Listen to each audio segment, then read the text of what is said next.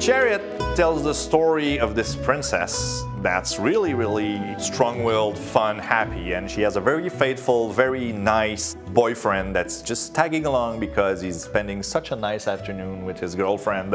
Basically, she has a quest to do before going on with her life. It's that she needs to uh, bring her dead father's coffin to its final resting place.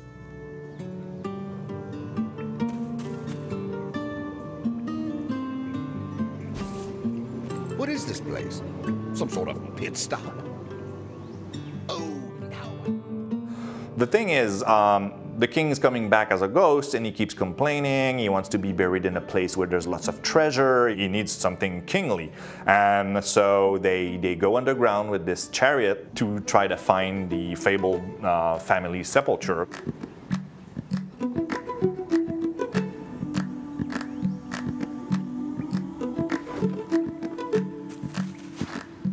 I was really looking to find a light-hearted co-op game and couldn't find anything that suited us at that time.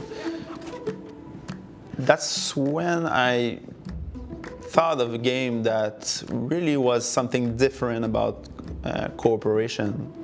Usually in co-op games, you're taking care of yourself and the other is taking care of himself. What Chariot is doing different is that you don't take care of yourself, you take care of the ch- Chariot itself. And yes. he brought it to me and said, hey, Martin, we should do this game. And I'm like, yes, it's awesome.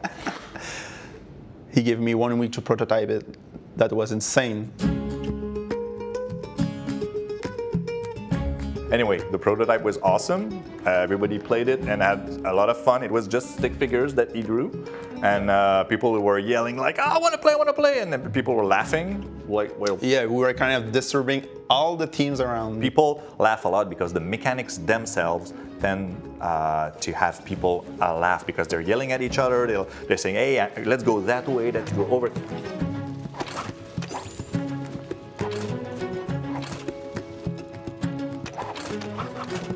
When I first saw Chariot, I really, really felt it had to have a, a unique look because of how unique the game moves.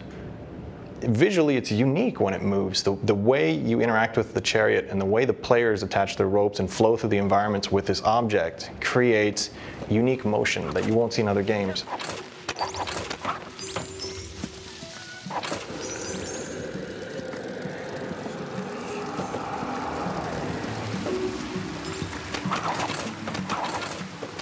One of the interesting things about Ch- Chariot is it's, it's actually a very quiet game. It's very atmospheric and it's very immersive.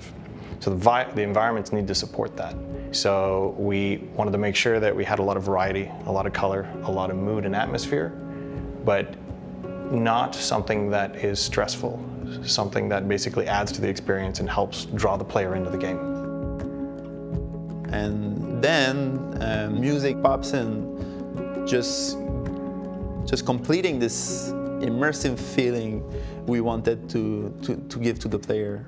Yeah, I remember when you, we first talked about music, and uh, you were saying you didn't want to have back-to-back music all the time. Yeah. You wanted to have, you know, these quiet exploration moment and then melodies that would come out. You know, Patrick Baltrop uh, was uh, really in on that idea, and I think he executed it uh, flawlessly. And oh boy, did we make uh, the good decision of, uh, of asking Patrick to work with us because it's it's really really impressive.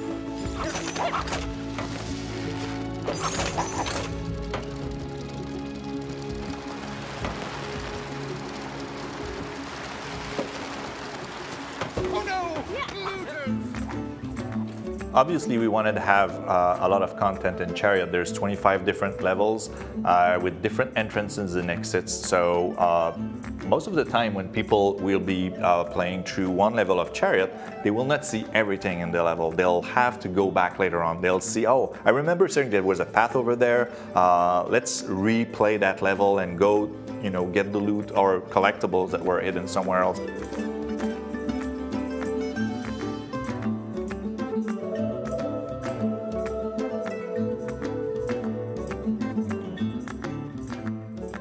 Crown jewel of Chariot is the fact that you have this thing that's a big platform on wheels ruled by physics, lets you do all sorts of crazy things. And that's really what's the, the, the the thing that uh, has that allows Chariot to get those moments where everyone is on the edge of their seat, even those who aren't playing, just to see like someone make that little swing and just narrowly land that big jump and oh, and have the Indiana, Indiana Jones moment of someone like leaping after his buddy and grabbing the road at the last seconds and being saved from a bottomless pit.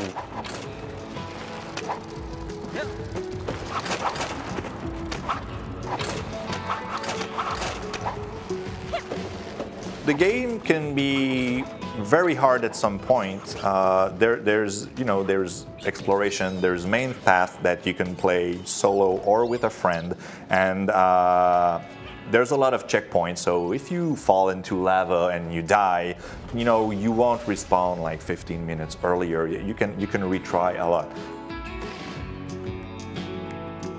It's amazing how much things you can do with the rope, the chariot, and also uh, with the, the, item that the, the, the, user can, can equip. So we wanted to really reward the players that, that will master the game. So I think they, they, they're gonna have really a lot of fun trying to unlock all the achievements in Chariot because we have some, some special ones. Chariot is so much fun to watch uh, to watch on the screen. You, even if you're not playing, you, are gonna watch your buddies try some hard puzzle and you're gonna enjoy it and you're gonna smile yeah. and you're, you're gonna cheer. The couch co-op doesn't have to be with two players of equal skill. You can have a really advanced player and a beginner player, and they'll be able to play together without a problem. They can really discover a whole lot and start learning, uh, learning how to work together and how to have fun in giant mines full of things that want to steal your loot. Can work super well on a couch because there's probably some negotiation that has to go on and some, some real time back and forth on, okay, we're going to do this move and uh, you plant yourself over there and I'm going to use this bomb. And, and you can also observe the chemistry that is developing between the two players when they from the moment they start together at, to the point where they, they, they, they, need to face a challenging puzzle and you see how much their, their gameplay evolves. That's, that's amazing to see. The development process on Chariot was one of the most beautiful experience uh, since my entry in the uh, industry. There was so much talented people working on this project. This is a big game, and we did it with a small team in a small amount of time. And the, the quality we're able to execute everything at is actually uh, uh, extremely high. It shows in the game that you know every artist, every animator, every programmer, every guy from the team of the engine, the game designers, the art director, everybody just put everything they had to make this game that they love uh, what it is right now.